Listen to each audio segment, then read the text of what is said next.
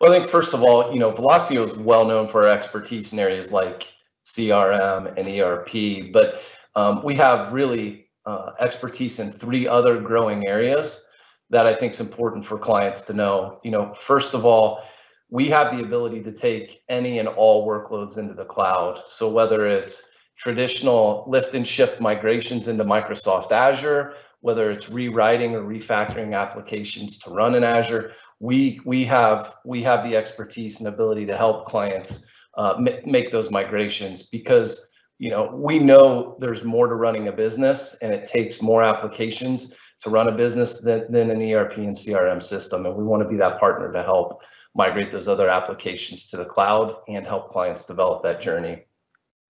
Second, you know, with the ever changing remote employee, both um, remote employee experience and need for employees to work remotely, uh, we really have a lot of expertise around O365 and Microsoft 365 licensing, how, what it takes to optimize those licenses. We have migration services available to both migrate to, to Outlook, to migrate to SharePoint Online, and to migrate to OneDrive. Um, you know, we frequently sit with our clients to help optimize and review their licensing needs within O365 because it is complex. And a lot of times we can get in and, and help them determine the right licensing fit.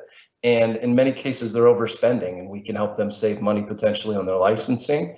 So that's one. And second, there's something within O365 called the secure score. And we love to sit with clients help them review what their secure score is and really figure out what features and functionality are already available to them that they can turn on to help secure their environment.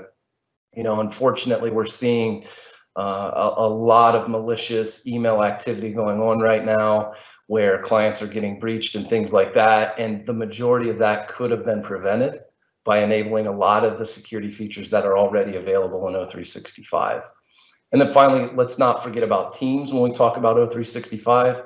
You know, for those that don't know, Teams is really a, a single platform that allows for employee chat, employee collaboration, file sharing, and telephony. Um, so the ability to receive and make phone calls as well through the application. And we, we, we're really excited when we get the opportunity to work with clients and help get them up and running and trained on Teams.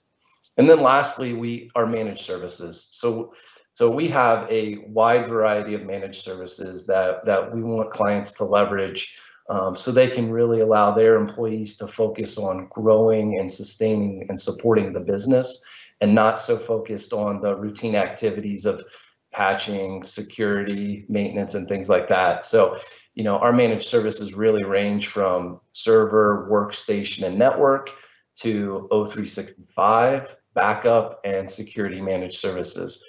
So really, to answer the question, you know, again, we are well known in the areas of ERP and CRM, but we want to be as well known in some of these other areas that I mentioned, cloud and cloud hosting, modern workplace, or as we would call it, O365 and Microsoft 365, and then our managed services.